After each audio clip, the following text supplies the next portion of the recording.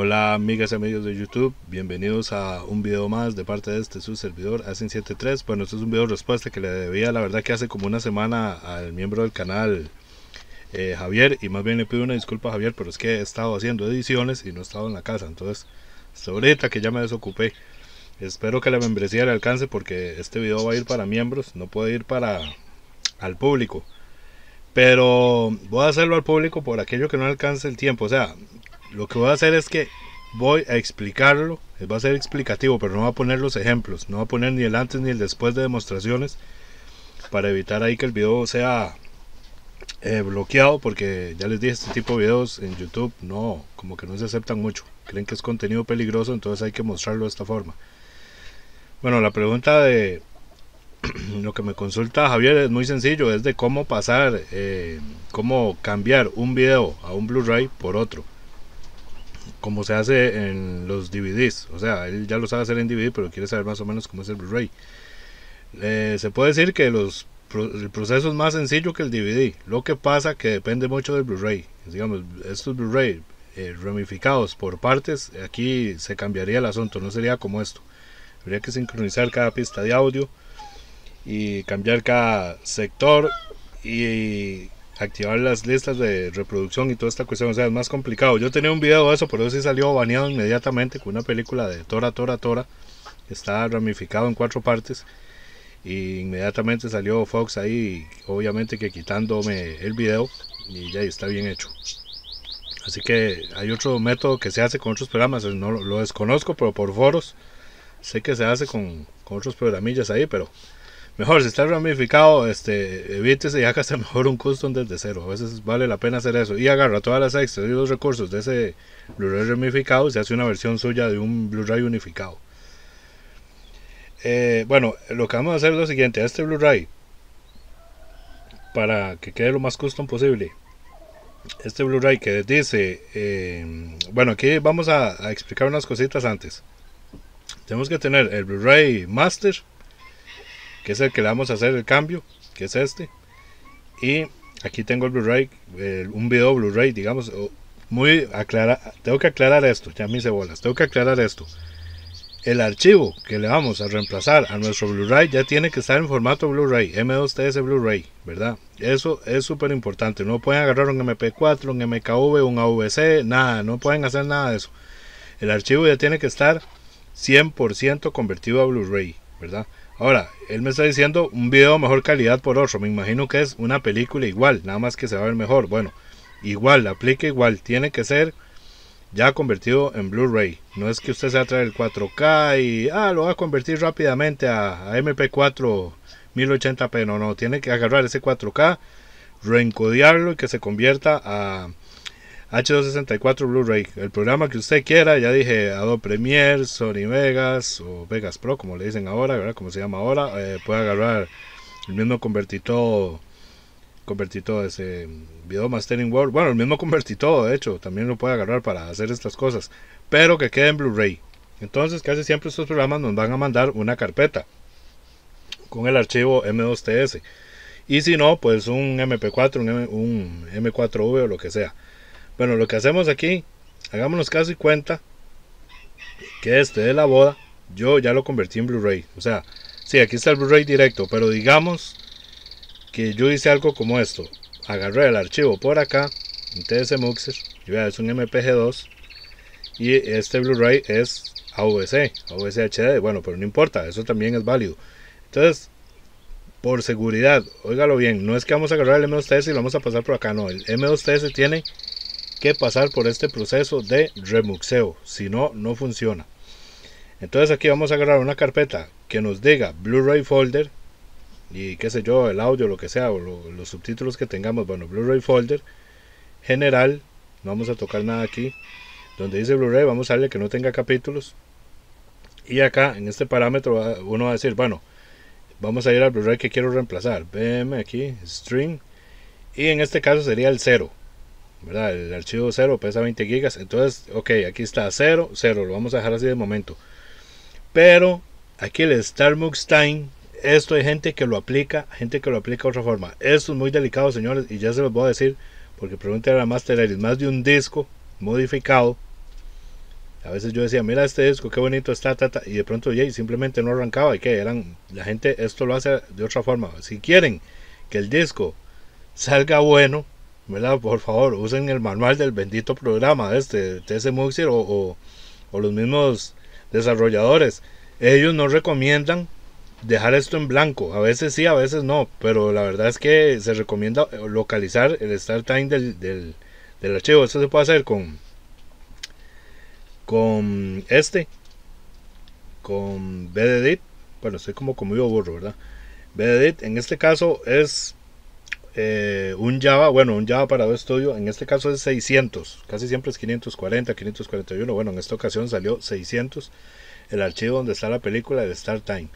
Bueno, entonces ¿dónde vamos a poner esos 600? Los 600 vamos a poner en estos tres dígitos finales. Entonces yo pongo así y listo. Queda con kilohercios de reloj 2700. Así se va a quedar al menos para esta edición. Vamos aquí, aquí no tocamos nada, subtítulos tampoco porque no tiene y bueno, ahí tampoco. Comenzaríamos a Start Muxing. O sea, va a comenzar el muxeo. Eh, recuerde que es un Blu-ray folder. Tendríamos que localizar donde lo queremos guardar.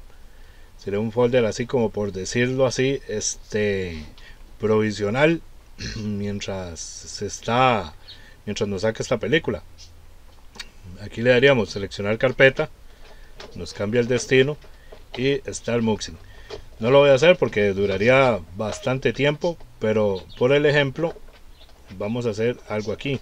Esto no lo, no lo hagan ustedes, esto solo lo voy a hacer yo.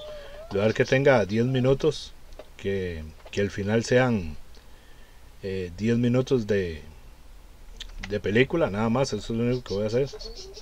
Lo hago al propio para para poder cambiar la película. Porque me va a pasar en, va a pasar esta película, pero esta película ya está construida, así que da igual si me le paseo por el ejemplo.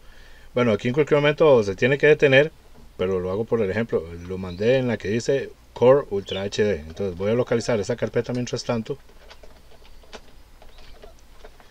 Aquí donde la tengo ubicada y es este que está aquí. Aquí ya se está generando eh, el directorio del Blu-ray. Esto sale como una carpeta Blu-ray. Eso es lo que usted necesita en este momento. Este eh, Javier. Vamos a esperar que esto termine. Vamos a ver, tengo que poner aquí una alarma porque ahora que veo, ya ahora sí, no la tenía puesta. Bueno, vamos a esperar que pasen los 10 minutos. En cualquier momento eso tiene que terminarse aquí, porque son 10 minutos de película. 10, 10 minutos de video nada más de, de la hora y resto. Vamos a dejarlo solo en 10. Bueno, si no le ponemos pausa, pero ya en cualquier momento tiene que terminar. Bueno, ahí está. Sale ok. Eh, en este momento, si quiere, puede dejar esto abierto para la información del, del reloj por si se le olvida, ¿verdad? Pero la verdad queda igual. Bueno, ahora que hacemos aquí, aquí lo tenemos. Doble clic, BMW, y donde está el stream, aquí cambiaríamos esta por esta. Bueno, vamos a hacerlo en tiempo real. Eh, muy importante aquí, aquí sí es recomendable, bueno, aunque podemos recargar, pero lo recomendable de seguridad es cerrar el BDD porque el disco está abierto en ese momento, pero lo voy a hacer para el ejemplo. Le voy a dar cortar y pegar, reemplazar el archivo destino, ya se pasó rápidamente. Ahora nos vamos a dirigir a la carpeta clpinf, clpinf aquí, copiar y pegar. O sea, esto, esto, esto esta parte está fácil, eso es lo que todo el mundo sabe. El start time es el que más o menos, porque depende mucho de la estructura. Este es el que más o menos si tiene dudas. Bueno, en este caso ya cierro el, disco este de la boda. Procedo a abrir. Bueno, dijo que esto lo podemos tener abierto. Eh, BDD me voy al disco, le voy a dar read para que refresque aquí la, lectura, porque es lógico, el disco ha sido modificado. Vean aquí como está en cero, entonces hay que leer read otra vez, que lea otra vez. El CLP igual, read, listo. Vea como el archivo, eh, la información del clip inf, ahí está, MPG2 y un audio estéreo en español. Y el que tenemos que reemplazar es este un AVS 1080p 30 frames, dos pistas de audio, eso hay que reemplazarlo, eso tenemos que cambiarlo. Bueno, entonces lo que hacemos, vamos en orden. No importa esto que estoy haciendo, esto, la información que está acá, esta del clip inf, tenemos que agarrar esta información y que quede aquí. O sea, tenemos que reemplazar esto y que quede la que viene de la pestaña Clip Inf, ¿cómo es? Correspondiente, ¡ah! estoy trabado, correspondiente a su archivo M2TS. Bueno, entonces, ¿qué hacemos aquí? Video, es un MPG2. Es un video que es, bueno, sí 1080p, pero está a 23.976, así que cambiamos esto. Y por lo demás igual. Siempre que hagamos un cambio, eso sí, esto es otra cosa que le voy a decir. Aquí, no sé por qué, pero yo recomiendo el, el BDDIT viejo. Porque no sé qué será que el 5, cuando uno hace estos cambios, como que el disco a veces no queda como muy bien. Ya me ha pasado. Como que viene más enfocado a los discos eh, Ultra HD. Y tal vez se enfocaron tanto en eso que los, los Blu-ray, no sé, como que a veces no me deja no, esto que estoy haciendo me lo deja mal, no sé por qué, no sé qué, por qué puñetas lo hace. Bueno, aquí tenemos que es Dolby Digital, estéreo, el idioma es español, así que vamos a buscar eh, SP, Spanish. Sí, si lo hubiera cambiado tal vez, ¿verdad? Tal vez. Tal vez, Spanish. Ok, eso está igual. Este audio, al no estar presente, eh, le vamos a dar eliminar. Aquí le damos en este botón menos, ya queda eliminado. Aplicar al CLPIF, salvar. No tiene subtítulo, también lo eliminamos. Aplicar el CLPIF, salvar. Bueno, eh, ya la información aquí está actualizada, ¿verdad? Ya, por decirlo así, podría decirse que está casi que listo. Pero, aquí vienen los peros de peros. Esto es un disco Java. Entonces el Java la mayoría de veces van a tener listas de reproducción. Entonces, ¿qué pasa? Tenemos que ir a parchar otro archivo donde se encuentra información de esta película. Si el disco este, el Blu-ray, hubiera sido HDMI hecho por Scenaris o Encore, entonces lo más seguro es que solo hubiera sido una lista para parchar y ya está. Que es lo más sencillo que hace toda la gente, que lo encuentra muy fácil. Eh, por Authoring Wars también se puede, pero eh, lo que nos engañaría aquí es el, donde está ubicado el archivo, aunque se muestre por decirle algo, digamos en el string que diga que está el archivo, se va a mostrar tal vez diferente y tenemos que fijarnos en el numerito que está aquí. A veces también eso pasa con Authoring Words, que Authoring Words cuesta mucho que uno le haga eso, pero puede pasar. Otra cosa que vamos a hacer aquí es cambiar el tiempo. Aquí tenemos el reloj, los 600, como está, vamos al edit. Y acá, entonces quedamos que era, eh, bueno, la verdad, ¿cuál quedamos? Si no lo he visto, es 10.574. Aquí está el tiempo. Este es el tiempo que tenemos que actualizarlo. Obviamente que la película aquí está reducida, pero ese sería el tiempo. Entonces sería eh, 0, 0, 10, 0, 0, 574. Entonces ve aquí como 9.59 y prácticamente ya se pasó los 10 minutos. Este reloj, bueno, en las versiones nuevas yo puedo dar aquí copiar y pegar. En esta versión no puedo. Eh, simplemente yo hago así. Bueno, yo lo intenté hacer y la verdad que quedó mal. Hice copiar, control C, me copiar y esto, ahora vean lo que pasa cuando localizo el otro archivo. o sea, no lo quiero hacer, se me hace un despelote, señores. No les voy a mentir. Bueno, ¿qué estoy haciendo ahora aquí? Aquí arribita. Estoy haciendo con la flecha hacia abajo porque estoy localizando ahora el, el, donde está la película ubicada. Otra vez que se tiene que repetir. Bueno, hay dos formas muy sencillas. Fijándonos en el tiempo. Y la otra es fijándose, fijándome en los parámetros que está aquí. Porque, ¿qué pasa? Aquí ya es una lista de reproducción. Vea, la tenemos aquí. Ven, aquí está ubicada está junto con otra bueno aquí, aquí, le, aquí sí me funcionó gracias aquí sí me funcionó pero me funcionó pero vean que raro no me, no me actualiza ah ya me lo actualizó es que no me actualizaba el tiempo que estaba y bueno ahí sí funcionó no he dicho nada entonces fue un mal teclado teclazo que hice yo bueno en este momento eh, está actualizado el tiempo, pero igual tenemos que venir a modificar esto. Esto hay que hacerlo igual. MPG2, 23976, aplicar, salvar. Dije salvar. Pista de audio eh, la primera es un Dolby Digital estéreo es español español. Aplicar CDPF cada entrada que hagamos tenemos que salvar. Aquí borramos salvar y aplicar verdad aplicar y salvar subtítulo no tiene borramos aplicar y salvar ok eh, podría decirse que ya está, pero por las dudas, yo sé que quedó estudio solo deja dos listas de reproducción, no va a dejar más. Pero por las dudas seguimos buscando. Aquí está la 001, aquí. No, pero vemos que no coincide con... Este es, este es el VHS. Vean, es el VHS porque había una extra que era un VHS. Y no, no, no es 25 frames, sí, sí, nada que ver.